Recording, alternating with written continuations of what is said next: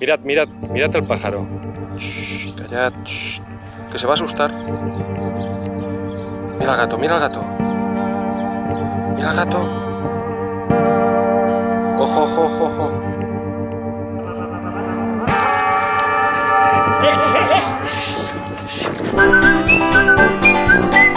Estábamos grabando aquí en el plato y bueno, estamos grabando un episodio de cobayas que nada tiene que ver del parto de las cobayas. Y de repente hemos oído un ruido en unas ramas y nos ha pasado sobrevolando un, bueno, un pajarito, un volantón, una tortolita pequeña. que Ha caído en el jardín y nuestro cámara Enric se ha puesto a grabar exactamente ahí qué es lo que ocurría. Estaba acechando una de las gatitas nuestras, se ha puesto como a querer jugar, a, a acechar a la palomita y de repente un gato callejero ha salido de la izquierda, pa, le ha pegado un mordisco Mirad, mirad, mirad el pájaro.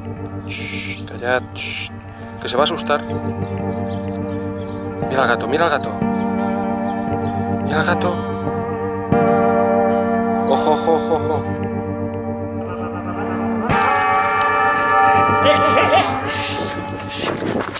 Lo ha soltado, lo ha soltado. ¿Dónde está? ¿Dónde está? Ostras, vamos a ver rápido si le ha hecho algo.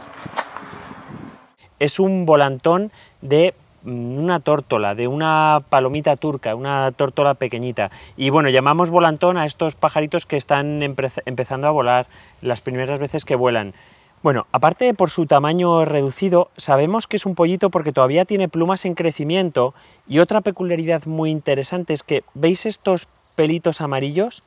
Todos esos pelitos amarillos eh, son el plumón con el que nacen y por eso podemos identificar que se trata de, un pollito, de un volantón que bueno, todavía no vuela bien y es por esa la causa de que el gato ha conseguido cogerle.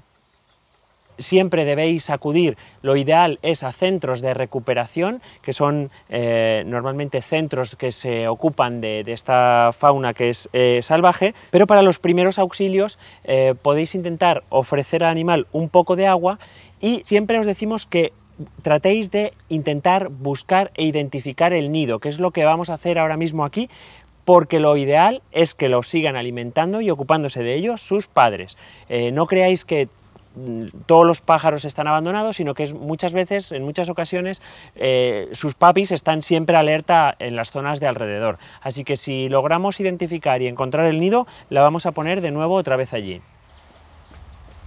A que os llama la atención todas las cacas aquí reunidas que de repente encontramos, es muy típico que debajo de esto encontremos que hay un nido. Y yo, pues buscando, he conseguido localizar el nido y ahora, eh, Jordi, por favor, ¿me podrás traer una escalera para que lo podamos volver a subir?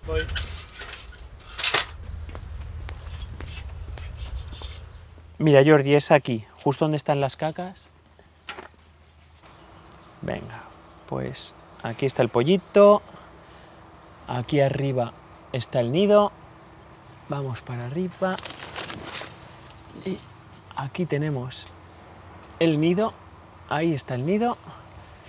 Y aquí está el pollito que le vamos a volver a dejar en su sitio, ahí. Y ahí está de nuevo en su nido para que la madre se pueda hacer cargo de él. Y ya oímos cómo la madre viene otra vez de nuevo aquí al sitio. La verdad que ha estado, ha estado muy chulo y espero que os guste.